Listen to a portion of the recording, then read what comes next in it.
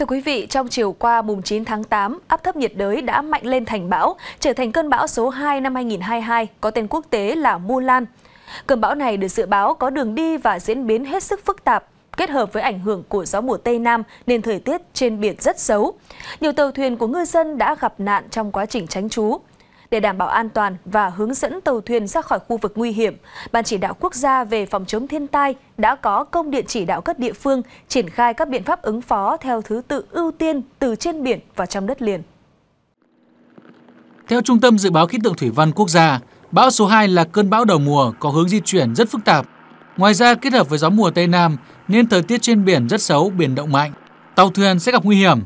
Do đó công tác thông tin kêu gọi tàu thuyền di chuyển về nơi tránh trú hoặc thoát ra khỏi khu vực nguy hiểm được đặc biệt lưu tâm. Dưới tác động của cái hoàn lưu cơn bão thì khu vực phía Bắc của Biển Đông sẽ có cái gió mạnh cấp 6, cấp 7, vùng gần tâm bão mạnh cấp 8, vịnh Bắc Bộ. Trong đó có huyện đảo à, Bạch Long Vĩ, Cô Tô thứ sẽ có cái gió mạnh dần lên cấp 6, vùng gần tâm bão mạnh cấp 8. Còn cái khu vực à, đất liền chúng tôi nhận định là khu vực Quảng Ninh ở Hải Phòng. Trong à, đêm của ngày 10 và ngày 11 có khả năng có gió mạnh cấp 6, cấp 7 và giật cấp 9. Khu vực đất liền vùng núi phía Bắc, đặc biệt là khu vực Đông Bắc sẽ có mưa lớn trong những ngày tới. Đợt mưa này dự báo kéo dài đến khoảng ngày 12 tháng 8, tập trung ở Bắc Bộ, Thanh Hóa và Nghệ An. Lượng mưa phổ biến từ 100 đến 200 mm một đợt, có nơi trên 250 mm.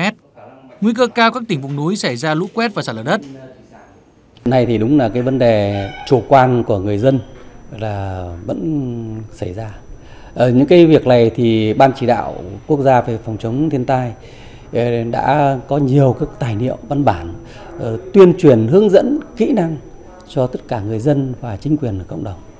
Ờ, chính quyền địa phương đã có cái triển khai cái việc là cắm các biển nguy hiểm tại các cái đường đi nhưng mà người dân thì vẫn là do cái tính chủ quan trên là đi trên là xảy ra những cái tai nạn đáng tiếc như vậy xảy ra thì, trong thời gian tới thì rất mong rằng các cấp chính quyền tiếp tục là tuyên truyền phổ biến và nâng cao nhận thức ờ, kỹ năng ứng phó của người dân đặc biệt là phải nâng cao được cái ý thức trách nhiệm của người dân với bản thân với gia đình khi mà tham gia lúc ừ, thiên tai xảy ra.